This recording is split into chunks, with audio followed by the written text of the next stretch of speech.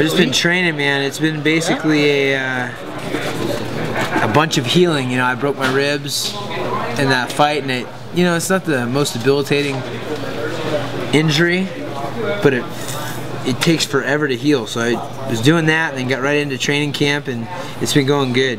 My weight got pretty heavy. I was about 160 solid, and uh, and so been watching my weight and just training hard. We've got Duane Bang Ludwig that came in to start taking over our, our head coaching position, and all our other coaches are still there. So it's it's it's been awesome, man. What's Duane been like? You know, being the new addition.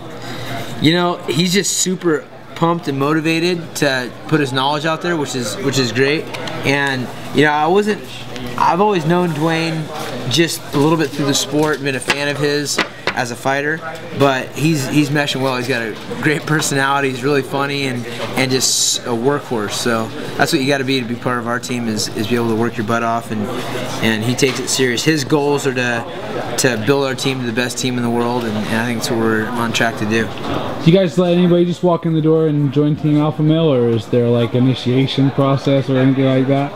Well, they got to come and sign up at the gym, and then initiation process is how long can you hang? You know, it's not easy to do what we do. We, you know, we call people out if they're coming per, periodically and, and and not consistent. You know, just say, hey, you know, might not be the right place for you, but uh, people that can hang, they, they show up and they keep showing up. So that's that's kind of how the process happens. It's uh, you know, if you're gonna hang out with people that are running, you got to get up and run alongside of them.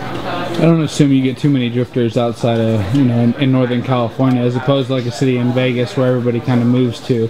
No one really moves to Sacramento unless it's to really be part of the team. Is that how it is for you guys?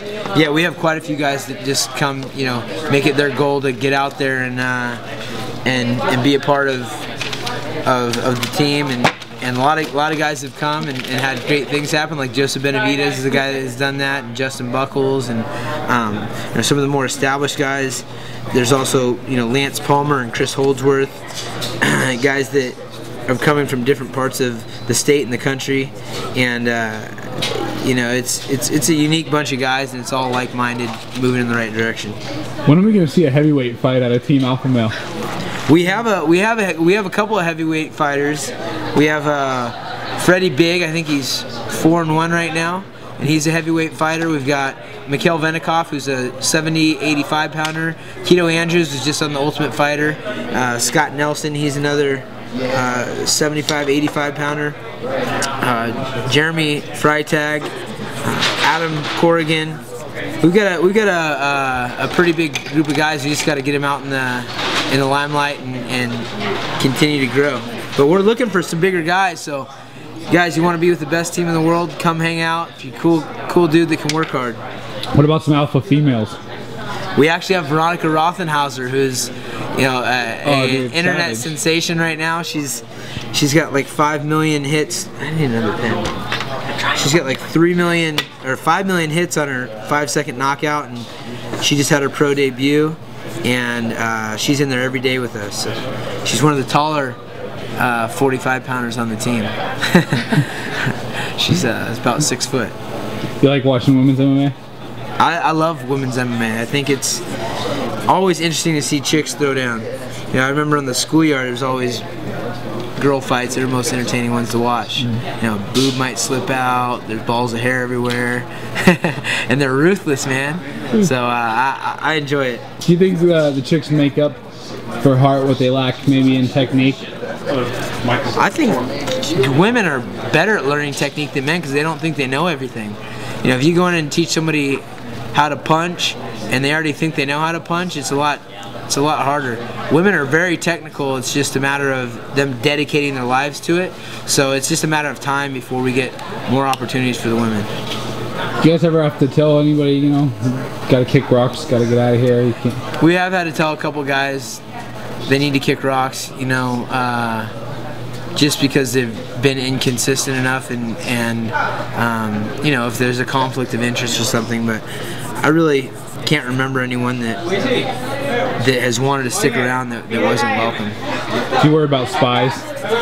I don't really worry about spies because, you know, in, in mixed martial arts, there's a bunch of moves out there. There's no secrets to what, what's working. So the the ability to, to learn a bunch of stuff and and make it work for you is so individual that I mean, there's no secret. We're working on wrestling, jiu-jitsu, boxing, kickboxing.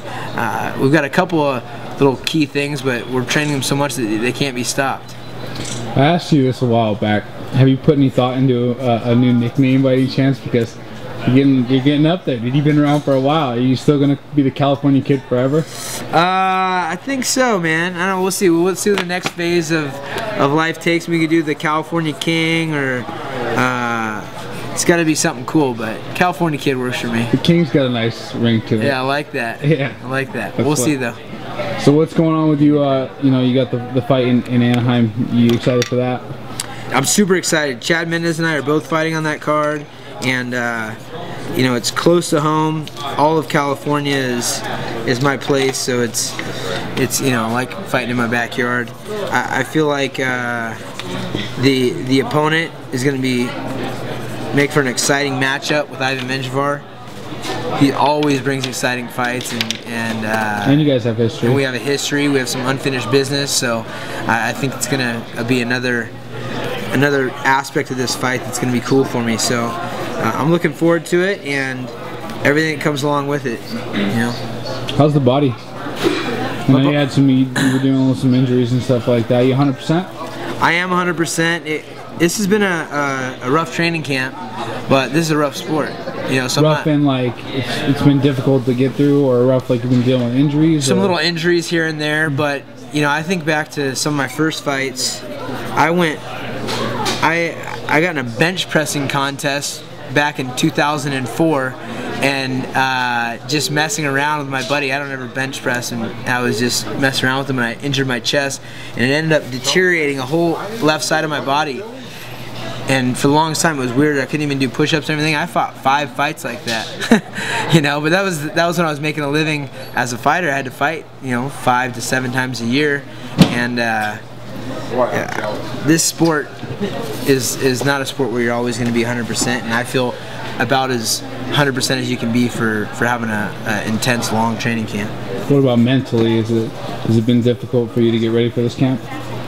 Uh, it hasn't been mentally tough for me to to to be in camp. Just I I enjoy what I'm doing, so you know this is this is something I feel really lucky in this world to, to be a guy that gets to follow his passion and, and make a living around it. Been really lucky. Urijah, aside from the fact that Torque is now on the map in the MMA apparel world, is there anything you want to let the readers know? You know what?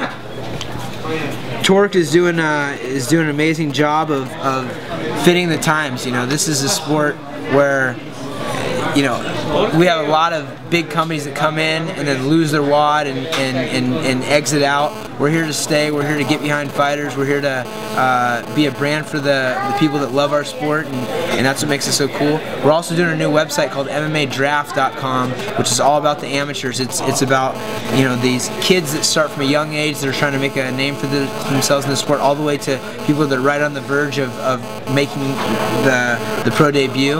And it's going to be a lot of tools and a lot of uh, uh, cool things that that are going to give people a, a push in the right direction to be professional fighters. And so check that out. Make a profile if you're a, if you're a young fighter, an amateur fighter out there.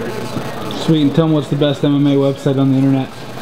We got the MiddleEasy man, the most creative, uh, out of the box website out there for MMA. There's some funny stuff on that on that site, so check it out.